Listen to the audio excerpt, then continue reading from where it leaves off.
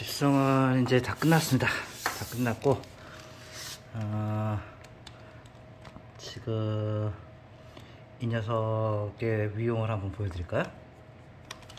지금 이게 저희 파워보드에 쓰는 보드의 두께예요.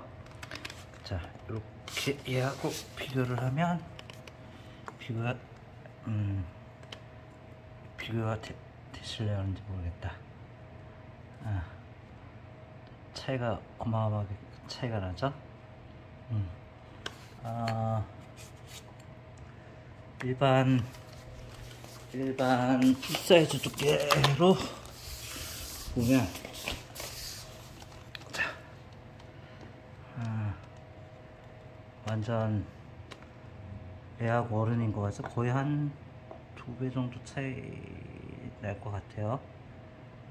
두 배까지는 안 날 것 같은데 하여튼 그러니까 저희 보드를 쓰시는 분들은 아시겠지만 최적에 따른 그 소리의 변화가 꽤, 꽤 커요. 꽤 크고 천여작은 제가 아까 말씀드린 것처럼 건조라는 감, 단계를 생략하기 몰랐기 때문에 저거에선 제대로 된 소리가 나오지 않았고 어, 실제 제대로 돼서 이 정도 두께로 만드는 건 사실 이게 지금 처음이거든요. 그러니까 이거 지금 제 파워보드 어, 우디아 플라이트 파워앰프에다 쓰려고 지금 제 거 특주해서 이제 만드는 건데 저도 이게 어떤 소리가 나올지는 솔직히 모르겠어요. 일단 이거는 코어 같은 경우에도 쓰면서 코어를 어느 정도 가감을 해야 될지 어, 실제 들어가면서 테스트를 해야 될 것 같은데 90kg짜리 앰프를 들었다 내렸다 하면서 테스트 할 거 생각하니까 좀 눈앞이 깜깜하긴 한데 그래도 일단 어 얘는 뭐 평생 한번 가져갈 거니까 뭐 도전해 볼 만한 것 같아요. 어 제가 오늘 그 어, 집서에 대해서 다 공개해 드리지 못해서 죄송해요. 죄송한데 어 제가 사진을 이따 이제 이거 글 올릴 때 사진을 보여드리겠지만 어, 가구의 개념으로 생각해서 하시는 분들은 제가 하는 이런 모든 행동을 이해를 못 하세요. 왜 그렇게까지 집착, 왜 그 정도까지? 뭐 하는데 그 정도까지? 항상 그분들하고 싸우는 부분이 그거거든요. 굳이 그렇게 해, 하지 않아도 되는데, 어, 실제로 그 다른 분들 작업하는 거 보면 그렇게 해요. 그냥 이거 클램프 몇 개 왔다 갔다 해서 저기 어, 작업을 하는데 제가 이렇게 집착하는 이유는 어, 하나요 뭐냐면 완벽한 밀착과 빈 공간이 없어야 된다는 거예요. 이게 우리가 겉으로 봐서는 겉 테두리에서 다 붙었다고 생각을 하지만 이런 어, 하드우드 같은 경우에 제대로 하지 않으면 중간이 빌 수가 있어요. 그럼 그 부분이 어, 떨, 공진이 떨림의 공간이 생기겠죠. 그러니까 그거를 없애기 위해서 그 판, 그 넓은 판에 어, 빈 공간이 없이 꼭 다 물려야 돼요. 그러기 위해서 집성을 이렇게 좀, 좀 과격하게 하는 거고, 어, 그 결과로 보면 지금 이제 이게 reso, 저희 resonator인데, 얘를 보면 얘가 지금 작은 사이즈 하나 갖고 집성을 한 게 아니라 음, 파워, 파워보드 정도 크기? 그 정도의 크기를 집성을 해서 다 커팅을 한 거예요. 다 쪼개, 쪼갰어요. 자, 그랬을 때, 얘가 만약에 빈 공간이 있다라고 하면, 그, 이 잘랐을 때 면에, 어, 빈 공간이 생기겠죠? 근데 보시면, 어, 그 어떤 것도 빈 공간이 없어요. 음. 그러니까 이건 바꿔서 얘기하면 압력이 다 고르게 갔다라는 거죠. 어, 고르게 갔다는 거고 또 어, 어, 이렇게까지 하는 이유 중에 또 하나가 그러니까 매뭐 하나 중요하지 않은 게 없어요. 다 중요해요.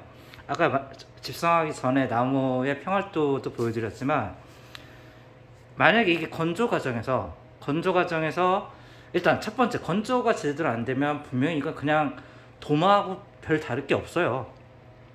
도마하고 별 다를 게 없는 거고 건조가 가장 중요한 건 저는 건조라고 생각을 해요.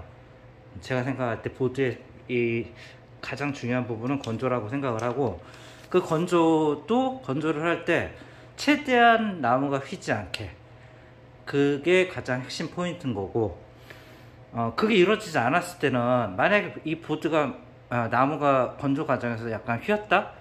그러면 이 지금 아 이거 타, 보여, 살짝만 보여드릴게요. 자 그냥. 자이 이 정도 지금 집성 압력이면 거의 제가 계산했을 때는 몇 톤의 압력을 지금 누르고 있는 거예요. 나무에다가 고르게 몇 톤의 압력을 위, 위에서 위아래로 누르고 있는 건데 나무가 살짝이라도 휘었다라고 하면 아무리 하드우드래도 집성을 하는 과정에서 깨져버려요. 터져버려요.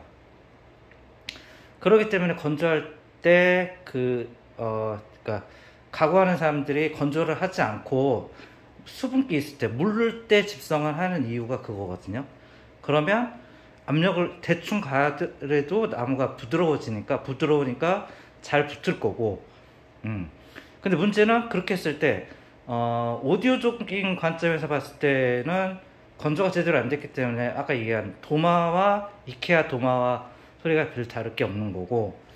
그 다음에 어, 그렇게 아, 어, 건조가 된 상태에서 제대로 저기를 눌러버리면 결국 터져버려요. 소리도 소리지만 그러니까 만약에 집성 그러니까 건조가 되지 않은 나무를 만약에 집성을 했다. 어, 시, 쉬워요. 그건 쉬워요. 굉장히 쉬운데 시간이 지나면서 얘네들이 마르면서 각자 나무들이 각자 휘려고 하는 방향이 다 틀리거든요. 그랬을 때 뒤틀리면서 나무가 휜단 말이죠. 그러면 소리도 소리 문제지만 소리도 소리의 문제일 수도 있지만 내구성에서 쓰다 보면 내구성에서 휘어버리기 때문에 내구성에서도 어, 안 좋게 되는 거죠. 그러니까 제가 이거를 어, 그 부분에 대해서 굉장히 좀 어, 집착하고 공부를 좀 많이 했던 이유 중에 하나가 어, 사람들이 다 그러니까 나무는 휠 것이다라는 생각을 다 가져요. 나무는 휠 것이다. 맞아요. 나무는 휘어요. 나무는 휘는데 어떻게 하면 최대한 그걸 극복할 수 있느냐 그거 때문에 처음에 많이 굉장히 좀 힘들었었어요. 그러니까 그만큼 음, 건조도 중요하고 그 다음에 건조하는 방법, 그 다음에 집성, 집성도 어, 어, 핵심 포인트는 붙이는 건 쉬운데 붙이는 거에 고른 압력, 넓은 면적에서 똑같은 압력을 받아야지 된다는 거. 그렇다라고 하면 그렇게만 된다 하면 굳이 나무 원목에 그러니까 원판 원통 한 나무를 쓰지 않아도 음, 오히려 더 좋은 효과를 낼 수가 있어요. 음. 그래서 오늘은 집성을 음, 에 대해서 여기까지 하고 이제 요로 요 상태로 보통은 파워보드 같은 경우나 full size 이제 일반 저희 보드 같은 경우에 그냥 뭐 하루 정도 파워보드 같은 경우는 한 이틀 정도 건조를 하고요. 어, full size나 뭐 half size 같은 거는 하루 정도 24시간 정도 건조를 해요 이 상태에서. 근데 스, 어, 스펙상 그러니까 매뉴얼에 나 본드 매뉴얼에 나와 있는 건 몇 시간만 해도 접착이 된다고 하는데 저는 그것도 사실 믿지 않거든요. 그건, 그건 어, 이론적인 얘기인 거고 실제로 해봤을 때 이 정도의 압력을 가했을 때 그게 완전히 굳으려면 그 시간 이상을 해야 돼요. 그래서 지금 제 거 이 보드 같은 경우에는 음, 이틀 정도. 이틀에서 3일 정도 그냥 푹 익힐 거예요.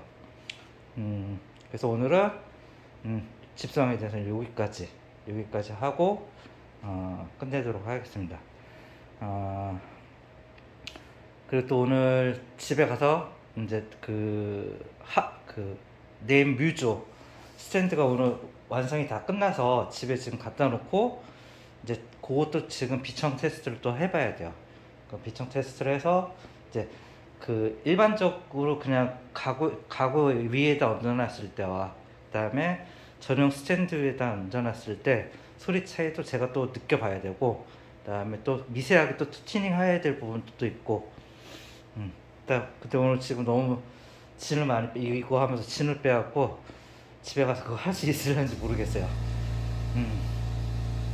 네, 오늘 여기까지 하겠습니다.